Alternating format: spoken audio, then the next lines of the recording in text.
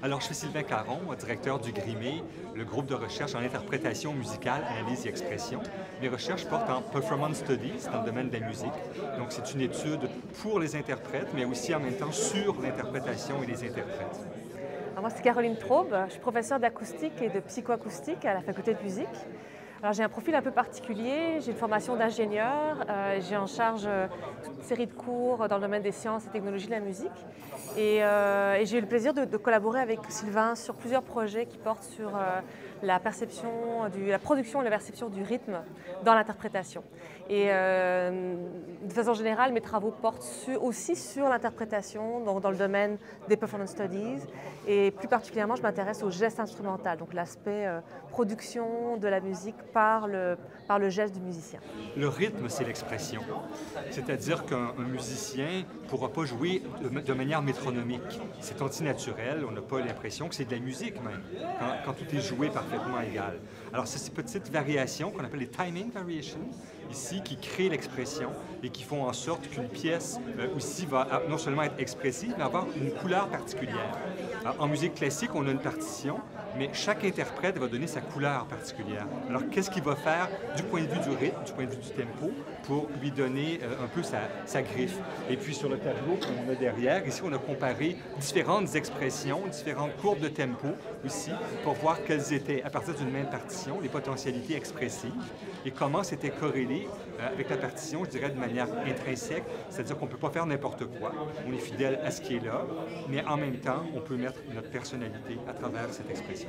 Et là, justement, en étudiant les, micro-variations rythmiques par les interprètes, ben, on, on, met en valeur le travail de l'interprète. On se rend compte que euh, l'interprète, il, a une marge de manœuvre assez importante et il, s'exprime artistiquement aussi dans des choix bien précis de, variations rythmiques, de variations dynamiques. Et, comme le dit Sylvain, tout ça c'est relié à, l'expression. Par nos travaux, on, espère révéler le, secret de l'expression en musique. Euh, c'est actuellement, c'est encore très, très mal compris euh, comment l'expression, comment l'émotion est véhiculée par la musique, par euh, l'interprétation de la musique. Et bon, c'est un casse-tête très complexe et je pense qu'on a, on a commencé à résoudre quelques pièces de ce casse-tête. L'interprète va fonctionner intuitivement le musicologue va chercher le mécanisme psychologique derrière l'intuition. Donc, comment être efficace, euh, comment un interprète réussit à être efficace dans l'expression? L'hypothèse qu'on a, c'est qu'effectivement, il y a des modèles d'expression et qui vont réussir à, jouer dans la perception par rapport à des chaînes cognitifs. Et c'est ce qu'on cherche à décoder. C'était assez évident qu'on a fait ce projet de collaboration sur les, micro-variations rythmiques dans l'interprétation. Quand on a vu la thématique, euh, on, s'est senti interpellé très, spontanément. Et on est, je pense, tous les deux convaincus que l'enseignement de la musique et la, recherche en musique peut bénéficier du contact avec les autres disciplines, que ce soit la psychologie, la kinésiologie, euh, les, sciences, euh, les sciences humaines sont déjà bien présentes à la faculté, mais on peut ouvrir aussi aux sciences et technologies. La musique et le rythme sont des réalités indissociables et puis on est au centre donc de cette recherche en tant qu'objet aussi, donc je trouve ça fascinant.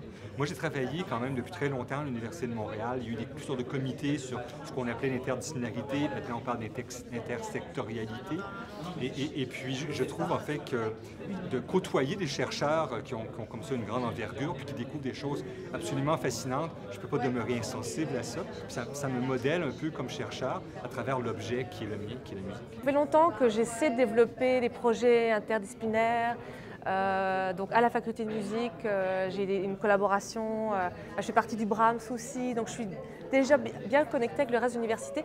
Ce que je dirais, ce qu'a m'apporté la journée d'aujourd'hui, c'est du réconfort vraiment parce que euh, c'est pas toujours facile de, travailler dans l'interdisciplinarité.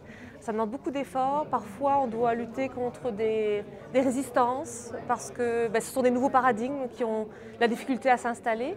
Et donc d'être entouré par, par tant de chercheurs qui sont complètement vendus à l'idée que c'est important de, travailler avec des collègues provenant d'autres disciplines, c'est juste euh, vraiment réconfortant et enthousiasmant. Et puis ça, me conforte qu'il faut continuer dans cette voie-là.